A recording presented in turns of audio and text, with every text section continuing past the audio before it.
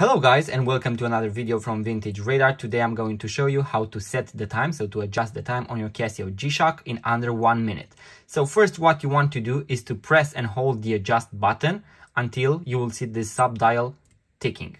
Now you are going to be able to select your city. Then if you press the mode button once again we have the DST option we are going to go past that one and here we have the 24 hours. You can select using the forward button between 12 and 24. I prefer the 24. Now if you press the mode button once again, we can select the seconds.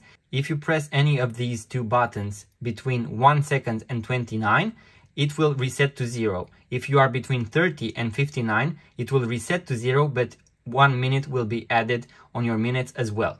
Now let's move forward. Here we have the hours. I can press both buttons, so either the reverse or the forward one, and I can select the hours. If I press the mode button once again, here I have the minutes. I can press and hold any of these buttons and it will speed scroll so I can see everything moving faster. And when you are done, so when you have the hours and the minutes ready, you can press the adjust button one more time and the analog hands, so the watch hands will actually go and align with the hour and minutes on the display.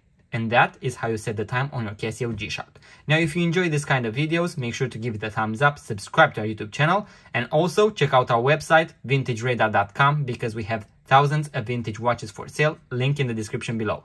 Thank you guys, and see you on the next one.